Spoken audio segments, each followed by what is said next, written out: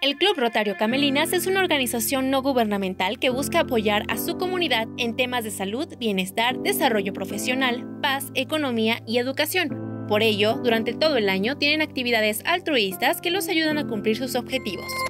Pues mira, estamos realizando nuestra sexta jornada de lentes y aparatos auditivos, que es una jornada que realizamos con el fin de recaudar fondos para nuestros servicios de, para nuestros proyectos de servicio comunitario pero también con la intención de apoyar a la comunidad de todas las edades a que se beneficie con la compra de lentes o aparatos auditivos a un costo muy accesible y de muy buena calidad.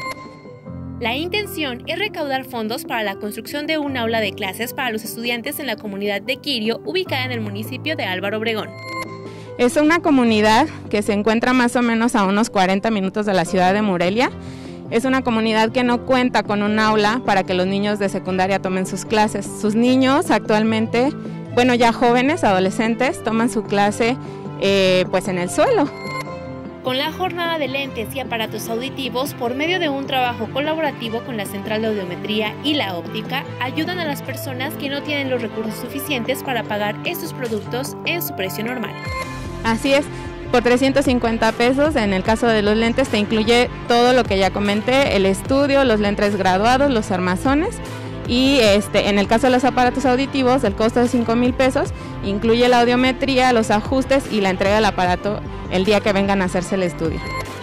Desde este lunes y hasta el sábado 16 de octubre estará la venta de lentes y aparatos auditivos en el centro de convenciones, de 9 a 18 horas. No es necesario presentar ningún tipo de documentación. Pueden venir todas las personas que deseen este, aprovechar esta oportunidad, desde niños, adultos, adultos mayores, todo el mundo puede venir, está abierto a toda la, a toda la comunidad. Para Mega Noticias, Marbeli Garnica.